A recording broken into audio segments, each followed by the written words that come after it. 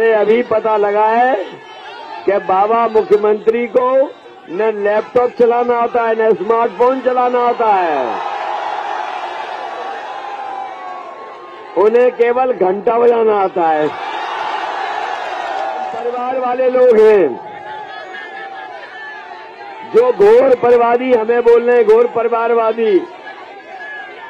हम परिवार वाले लोग हैं। हम जब कभी अपने घर जाते हैं तो हम परिवार के लोगों के लिए मिठाई या सामान या कुछ लेकर के जाते हैं।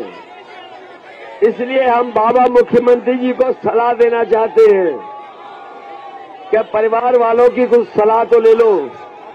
और हमारी सलाह ये है कि जब आप लखनऊ से गोरखपुर आए तो कम से कम अपने गुल्लू के लिए बिस्किट तो लेते आना।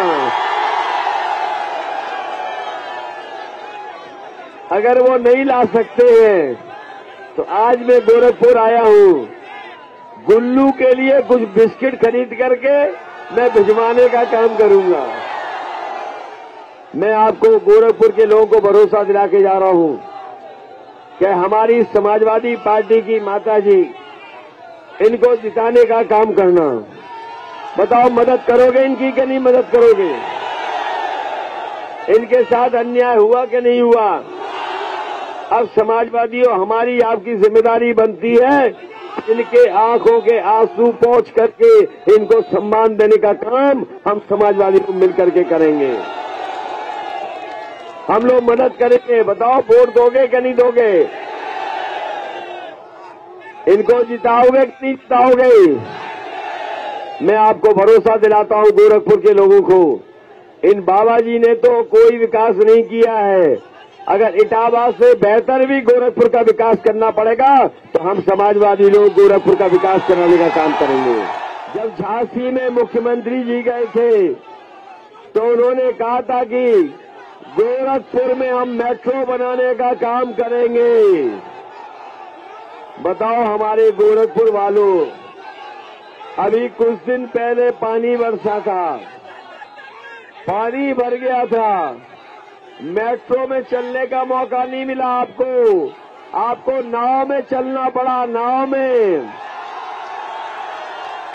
और कुछ लोगों को अपने कपड़े उठा करके तैर करके घर जाना पड़ा। बताओ, घर जाना पड़ा कि नहीं जाना पड़ा? कि मैं बारह बजे सो के उठता हूँ। और जिस दिन से उन्होंने बारह बजे उठने की बात कही है, हम भी उनके घर पर नज़र रखे हुए हैं आजकल। और आजकल जैसे ही शाम होती है तो थोड़ा धुआँ उड़ता हुआ दिखाई देता है। पता नहीं कहाँ से धुआँ आ रहा है। और अभी कुछ दिन पहले मैंने कुछ पुताई वाले जाते देखे। और जब पुताई वाले वहाँ जाते हुए मैंने देखे तो मैंने पूछा कि पुताई वाले कहाँ जा रहे हैं? तो उन्होंने बताया कि मुख्यमंत्री आवास में जो धुएँ के काले धब्बे लग गए, उनको मिटाने जा रहे हैं। तो बताओ बाबा जी गोरखपुर आ रहे हैं कि नहीं आ रहे? उन्होंने तो लखनऊ से गोरखपुर की हवाई जहाज़ की टिकट भी बुक कर ली है। ये बाबा मुख्यमंत्री झूठ बोलने वाले हैं। बताओ कि योगी होके झूठ बोलते हैं। उन्हें इटावा का विकास नहीं चाहिए। इटावा के विकास को नफरत करते हैं। लेकिन मैं आपके गोरखपुर की जनता को भरोसा दिला सकता हूँ। ये जो आपके चिड़ियाघर में शेर आए हैं तो बताओ इटावा होकर के, रह करके आए कि नहीं रह करके आए? ये चिड़ियाघर भी समाजवादियों ने बनाया। ये तालाब का शुद्धिकरण भी समाजवादियों ने शुरू किया। एम्स को भी ज़मीन समाजवादियों ने दी। और 500 बेड अस्पताल भी समाजवादियों ने दिया। और जो इंसिफ्लाइटस बीमारी थी, उसका भी नाम अगर किसी ने बदला है तो बाबा मुख्यमंत्री ने नाम बदला है। ये बीमारी गई नहीं है, नाम बदल दिया है, संख्या कम करने के लिए।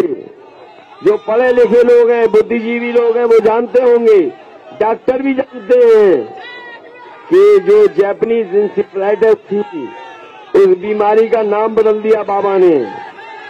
समाजवादी सरकार बनेगी तो इसकी जाँच करेंगे कि आखिरकार कौन जिम्मेदार है इसके लिए। समाजवादी पार्टी को वोट दें।